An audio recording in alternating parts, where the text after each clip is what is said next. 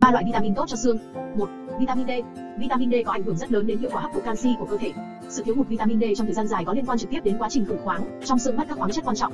Việc bổ sung đầy đủ là thực sự quan trọng và cần thiết. Ngoài ánh nắng mặt trời, một số loại thực phẩm giàu vitamin D là lựa chọn không nên bỏ qua, bao gồm các loại cá béo, cá hồi, cá ngừ, cá thu, dầu cá, gan bò, lòng đỏ trứng, ngũ cốc, nước trái cây.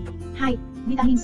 Vitamin C là thành phần quan trọng tham gia vào quá trình hydroxy hóa collagen của xương, giúp cải thiện mật độ xương một cách đáng kể.